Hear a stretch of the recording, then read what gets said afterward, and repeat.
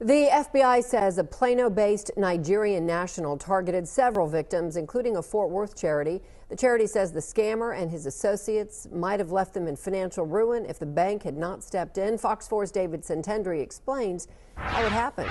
David. Yeah, Heather, the FBI says it can be very difficult to track down cyber fraud suspects. Oftentimes they get away, so they're glad this one is heading to federal prison for a 34 year sentence.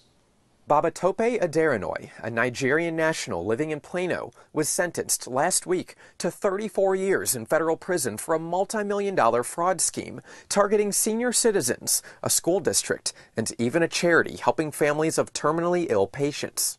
In today's time, you just have to be aware of what's going on. Christina Robertson says her Fort Worth nonprofit got taken for $100,000. She runs Project 4031. They provide financial relief to families of terminally ill patients patients. Some of those names are tagged to their wall.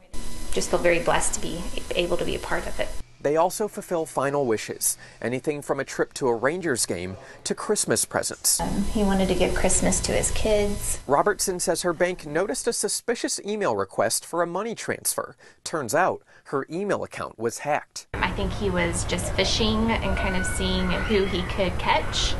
The FBI says starting in 2018, Aderonoye used fake passports to set up fake businesses and bank accounts. He's tied to at least 13 aliases, 12 fake businesses, and 40 fraudulent bank accounts. He and his co-conspirators used various email and phone scams, posing as someone familiar and encouraging victims to wire money. They then transfer the money to a Nigerian bank account. Feds say he stole more than $6.7 million from a lengthy list of victims. I think we were very naive at the time, thinking that it would not happen to us, even though we were taking what we thought were appropriate procedures. They weren't enough.